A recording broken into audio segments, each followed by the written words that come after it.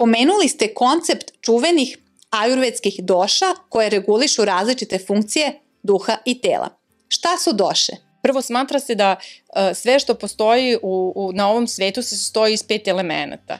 E, iz prostora, vazduha, vatre, vode i zemlje. I sad kombinacija tih elemenata zapravo formira te doše. Sad vata doša je kombinacija prostora i, i vazduha i ona u našem organizmu koordinira e, svim onim što je povezano sa pokretom, sa kretanjem, dakle naš udah, izdah, e, protok hrane kroz digestivni sistem, pražnjenje digestivnog sistema, e, razmena materija na genetskom materijalu, sve što se dešava na nivou našeg nervnog sistema, otkuca i naših srca, oni su svi pod uticajem vata doše. Čovek ima balansiranu vata doše košu, onda mi lepo dišemo, skladno se krećemo, um, motilitet naših creva je um, pravilan, pražnjenje creva je adekvatno recimo vata doša koordinira i porođajem, pa je onda porođaj lagan, beba dobro pozicionirana uh, u materici.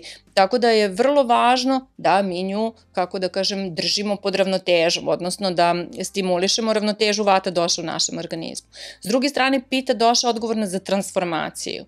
Ona je odgovorna i za transformaciju hrane koju unesemo kroz naš digestivni trakt, ali je odgovorna i za transformaciju iskustava koje imamo u svakodnevnom životu. Tako da i to kakvi su naši uvidi, kako mi razumemo sve ono što se oko nas dešava, to recimo zavisi od toga koliko je pita doša u ravnoteži.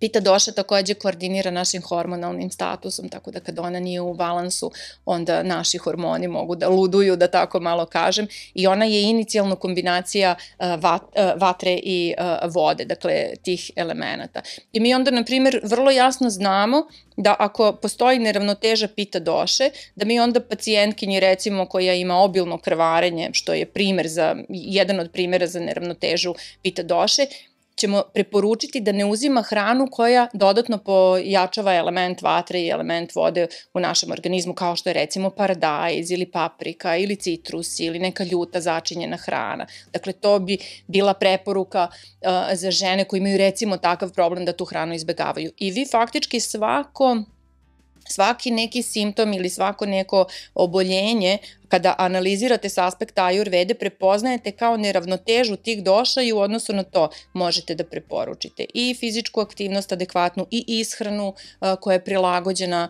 um, uh, toj osobi sa tom neravnotežom i, i mnoge druge da kažem stvari. Kako izgleda ajurvedski pregled, kako se uspostavlja dijagnoza? Mi pre svega e, odnos e, vate, pita i kafe u našem organizmu e, možemo da prepoznamo i iz izgleda pacijenta. Možda je za početak važno da kažemo da i kada radimo pulsnu diagnostiku, mi različite neke aspekte analiziramo. Te doše, vata, pita i kafa su bile u određenom odnosu u trenutku našeg začeća. Naravno, to kako su se one složile u tom trenutku zavisi od toga u kakvoj su ravnoteži bili naši roditelji. Tako da ako je neki tata, na primjer, bio u pitane ravnoteži u tom trenutku ili je kod njega pita dominirala u, u tom trenutku, onda je velika šansa da će i beba u svojoj konstituciji imati izraženu pita došu pa će joj to dati određene karakteristike. I tako je dakle sa svim došama. Prema tome svi mi kad se rodimo, rodimo se sa određenom konstitucijom, sa određenim kapacitetima, predispozicijama, sa određenim slabim tačkama, sklonostima da razvijamo više određene neravnoteže. Dakle, to zavisi od tog odnosa doša u trenutku našeg začeća. Ali naravno i način na koji mi živimo, kao što sam spomenula malo pre hrana koju uh, konzumiramo, uh, to koliko smo izloženi stresu, kad idemo da spavamo, kakva nam je fizička aktivnost, koliko generalno brinemo o sebi u toku dana, takođe može da dovede do pojave neravnoteže. Tako da mi uh, u, kada analiziramo pacijenta, mi uzimamo u obzir i njegovu konstituciju i to trenutno stanje u njegovoj fiziologiji koje zavisi od tih uslova sredine u kojoj on živi i od naravno njegovog e, ponašanja.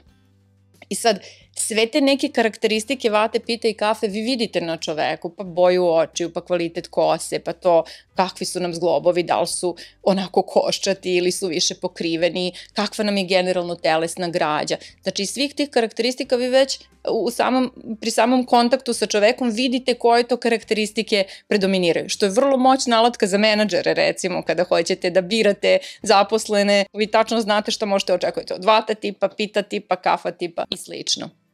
Ali naravno, kada pacijent uđe i, i kada elementarno, da kažem, porazgovaramo, uradi se pulsna diagnostika I ta pulsna diagnostika je zaista veoma, veoma interesantna i kao što sam rekla za mene kao lekara zapadne medicina bila potpuno fascinantna kad sam je naučila, jer vi sa, bukvalno sa tri prsta očitavate odnos vate, pite i kafa doše a, u našoj fiziologiji. Palpacija pulsa se radi na površnom nivou, na dubokom nivou, to je takođe jako interesantno kada vi shvatite da pipate puls na istom, a, a, na istom mestu faktički na koži iznad arterije radialis, uvek kod žena na levoj, a kod muškaraca na desnoj ruci i kada vi zapravo sa različitih dubina uh, dobijate različite informacije. To mnogima može delovati neverovatno i uh, neozbiljno i um, različite sam, da kažem, komentare imala uh, prilike da čujem ne ja lično nego i od svojih kolega kakav uh, utisak mogu da imaju ljudi koji nemaju to znanje,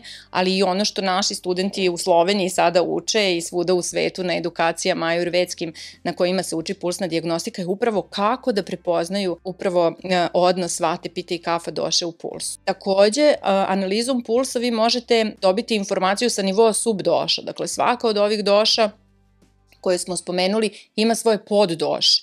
I svaka od njih ima pet svojih poddoša. Prema tome vi imate, na primjer, za vata doša su to prana, udana, samana, pana, vijana, neću vas ja time opterećivati, ali vi, na primjer, znate da je udana od pupka do nosa sa tokom na gore, da pana pokriva naš reproduktivni sistem, karlicu, kolon, znači tu je glavno sedište vate, da je recimo rađa kapita pokriva jetru i slezinu, deo želuca.